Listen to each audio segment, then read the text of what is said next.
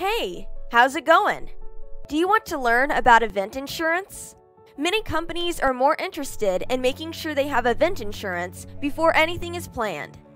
Let's start with the basics. What really is event insurance?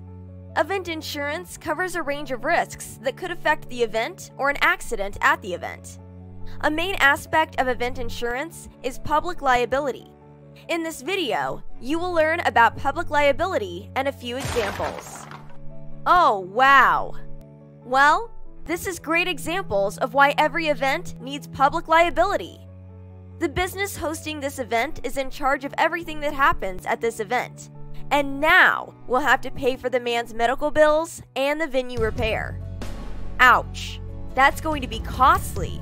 Hope they have event insurance. Public liability takes care of costs related to incidents to third party that occur in connection with your business event. Public liability cover is important during events, as it will cover the cost of bodily injury, property damage, or interference to a third party.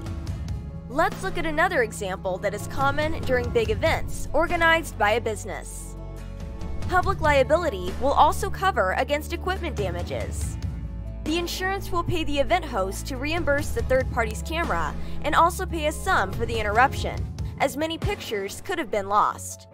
So, as you can see, public liability is a crucial part of event insurance, as it can save the hosting business a large amount of money and also provide help when things go wrong unexpectedly. It is impossible to predict the unpredictable.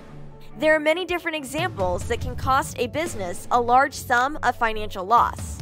To learn more aspects covered by event insurance and buy your event insurance now, contact Red Asia Insurance now.